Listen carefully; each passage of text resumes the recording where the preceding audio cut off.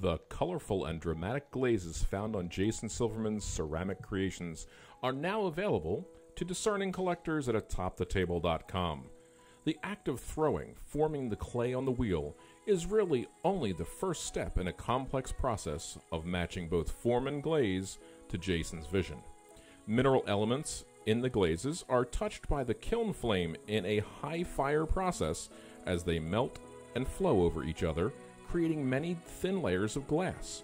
It takes the temperatures up to 2400 degrees Fahrenheit to achieve this dramatic reaction. It's a process that produces a range of subtly different effects, which makes each piece unique, from common bowls to decorative vases and lidded jars.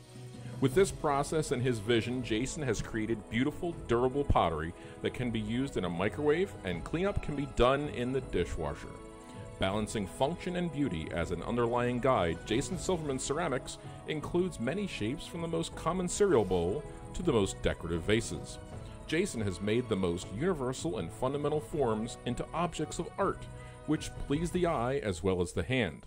And he does it in a way which has become more identifiable than his signature swirl found on each piece in some way or another. We discovered Jason's work in historic Philadelphia, where he has his studio. Now you can find the style, quality, and value of Jason Silverman ceramics today at atopthetable.com.